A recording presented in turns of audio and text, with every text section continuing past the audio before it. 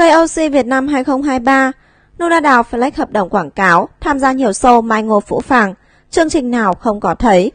Thí sinh được Nuna Đào Mai Ngô quyết tranh giành trong tập 2 KOC 2023 lựa chọn về đội Master. Tập mới nhất của KOC Việt Nam 2023 lên sóng tiếp tục gây bùng nổ với hàng loạt tình tiết hấp dẫn khi hai Master Nuna Đào, Mai Ngô chiêu mộ thí sinh hoàn tất đội hình trước khi bước vào trận đối đầu chính thức. Cặp Phương Oanh Daily, một ứng cử viên đầy tiềm năng trong chương trình năm nay, Nuna Đào flex những hợp đồng tiền tỷ, Mai Ngô dùng hết 10 năm chinh triển sau thực tế tranh giành cho được cô nàng về đội. Màn đấu khẩu căng của hai Master KOC Việt Nam 2023 nhanh chóng thu hút sự chú ý của cộng đồng mạng. Cụ thể, Nuna Đào khoe hợp đồng quảng cáo khủng để chiêu mộ Phương Anh Daily. Một chân của Nuna đã đặt lên mảng quảng cáo và có thể kiến tạo những mảng quảng cáo mang lại doanh số rất lớn. Màn flex của Luna Đào khiến Mai Ngô thắc mắc, không có thấy thiệt, không có biết nương á, sao vậy ta?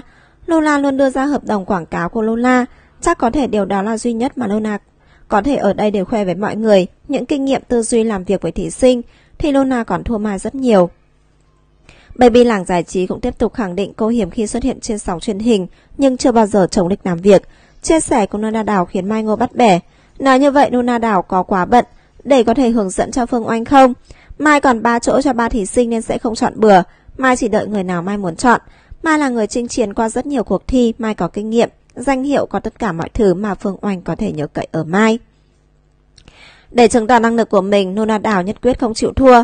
Với một phạm vi loại hình nhất định, Nuna đều học hỏi rất nhanh và không cần phải dự thi quá nhiều lần, vì Nuna không phải dự thi duy nhất ở một chương trình truyền hình thực tế. Trong hậu trường Mai Ngô tò mò, chương trình gì vậy? Mai không phải fan, chỉ là đồng nghiệp của Nuna.